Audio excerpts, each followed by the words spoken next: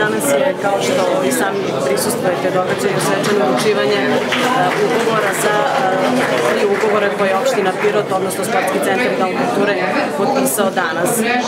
Ovo je, znači, tri projekata, prethodno ovaj, delo su, je potpisan još jedan projekat, tako da je tu četiri projekata za Pirot.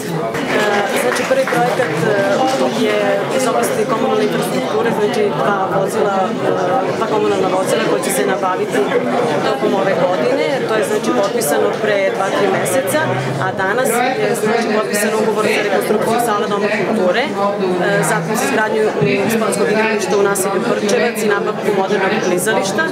I e, treći projekat koji se tiče, znači koji je potpisnik opština Pirot i koji se tiče ekonomske razmene, znači jačanje ekonomskih veza između privrednika u opštini Pirot i opštini Montana.